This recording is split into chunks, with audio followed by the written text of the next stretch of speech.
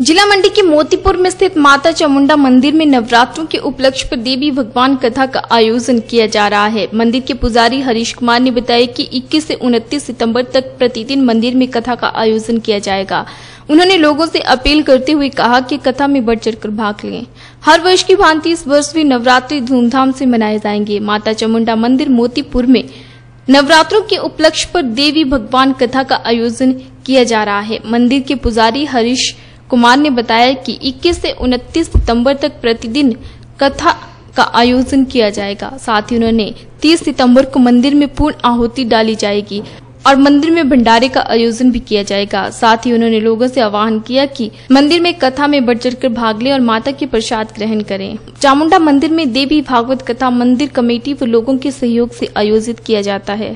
राजराजेश्वरी चामुंडा माता मोतीपुर में जो नवरात्रों के उपलक्ष्य में जो है देवी भागवत जी, जी का कथा का आयोजन किया जा रहा है जो मंदिर कमेटी और जन सहयोग से हो रहा है जो 21 सितंबर से लेके 30 सितंबर तक चलेगा। तो 21 सितंबर से लेके 29 सितंबर तक कथा होगी और 30 सितंबर को जो है पूर्णवती और भंडारा होगा। हम सभी श्रद्धालुओं और लोगों से आग्रह करते हैं कि वो मंदिर में भारी मात्रा में आए और कथा को सुने और शाम रोज प्रसाद ग्रहण करें रोज माता का। माता का आशीर्वाद प्राप्त करें। जय माता